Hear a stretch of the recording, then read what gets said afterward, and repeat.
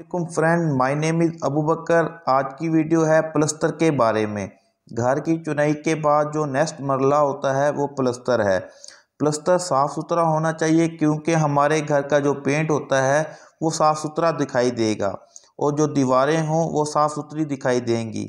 आज की वीडियो में देखेंगे कि मज़बूत पायदार प्लस्तर कैसे करना है तो स्टार्ट करते हैं। अभी मैं आपको प्लस्तर की एक दीवार दिखाता हूँ, जो कि मुकम्मल तौर पर रेडी हो गई है। आप देख सकते हैं कि दीवार कितनी खूबसूरत और शाइनिंग में प्लस्तर हुआ पड़ा है। इसको छाप लगाकर चपटी और गरमालय और फोम से बिल्कुल स्टेट कर दिया गया है। प्लस्तर करते वक्त प्लस्तर की अहम बातें भी आपके साथ शेयर करता चलूँ। जो प्लस्तर की मोटाई रखनी है, वो चार सूत्र, यानी कि आधा इंच से ज़्यादा नहीं होनी चाहिए। ज़्यादा मोटे प्लस्तर में क्रैक्स आ जाते हैं इससे इसलिए प्लस्तर जितना बारीक होगा उतना ही साफ़ सुथरा दिखाई देगा और जो मजबूती होगी, उतनी ही ज़्यादा होगी। और प्लस्तर को चार सूत्र में कैसे इक्वली रखना है, वो आपको बताता चलूँ कि जब छाप लगाएँ तो चपटी से दीवार की एक साइड दीवार की दूसरी साइड ऊपर से और दरमियान में चपटी से आपसे मिसाला उतार लेना है।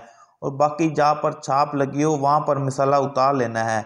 आप देख सकते हैं कारीगर एक साइड से मिसाला उतार रहा है दीवार की और फिर दूसरी साइड से और ऊपर से। ये बहुत ही अहम प्लस्तर में होता है। इसका आपने खसूस ख्याल रखना है कि हमने चार सूत्र तक ही इसकी मोटाई रखनी है। ये प्लस्तर की अहम इन्फो है। प्लस्तर, मोटा या मिसाला कहीं ज़्यादा वहाँ पर आता है जहाँ चुनाई सही ना हो। इसलिए चुनाई हमेशा साफ़ सुथरी रखनी है, जैसा कि आप वीडियो में देख रहे हैं। अगर चुनाई साफ़ सुथरी नहीं होगी तो कन्फर्म आपका प्लस्तर साफ़ नहीं होगा। इसलिए मैं कहता हूँ कि चुनाई बिल्कुल साफ़ सुथरी होनी चाहिए। इसलिए अच्छे कारीगर का इस्तेमाल करें। और इसके मटेरियल का भी आपके साथ ज़िक्र चलता, करता चलूँ। प्लस्तर में हमेशा आपने चनाब की रेत को इस्तेमाल करना है। इसमें इसकी रेशो एक हिस्सा सिमट चार हिस्से रेत के होने चाहिए। और मिसाले की मिक्सिंग बहुत ही अच्छे तरीके से करनी चाहिए। इसमें मिसाले को तीन कल्टियाँ देनी चाहिए। मिसाले को जाले की मदद से छान के इस्तेमाल करना है, क्योंकि इसमें मौजूद कंकर वगैरह कुछ भी ना हो जो दुराने प्लस्तर कारीगर को तंग करे। प्लस्तर हमेशा स्टेट और चप, चपटी में होना चाहिए। ये थी प्लस्तर की अहम मालूम जो कि आपके साथ शेयर करना बहुत ज़रूरी थी, क्योंकि घर एक बार बनता है तो इसलिए आपको इसकी सारी इन्फो होना लाजमी थी। उम्मीद करता हूँ दोस्तों, आपको ये वीडियो पसंद आई होगी, और अगर आपको ये वीडियो पसंद आई है तो वीडियो को लाइक और चैनल को सब्सक्राइब कर दें, ताकि मेरी आने वाली हर वीडियो का नोटिफिकेशन आपको मेरे चैनल पर मिल सके।